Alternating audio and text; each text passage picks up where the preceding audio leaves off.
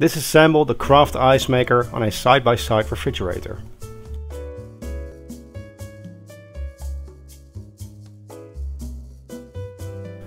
Remove the front plate.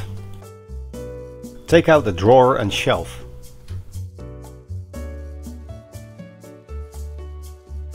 Unmount two screws. As the right side is still hooked on the side, start with the right screw.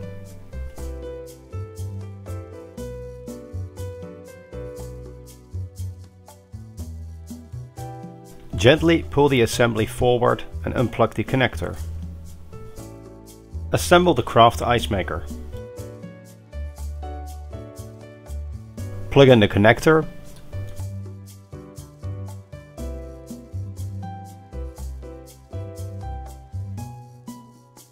Make sure the assembly is hooked on the right side as indicated.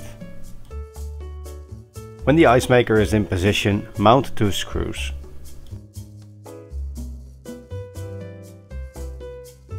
Put back the shelf and the drawer.